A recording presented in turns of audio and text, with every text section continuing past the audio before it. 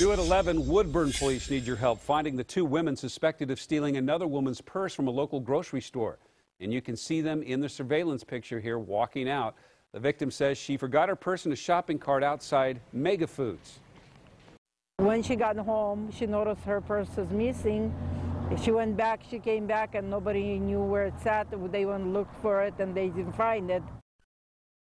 Well, police say it turns out as the victim walked to her car, the suspects got out of the car, you see here, took her cart with the purse inside, then went into the store. They then hid the purse and took off with it.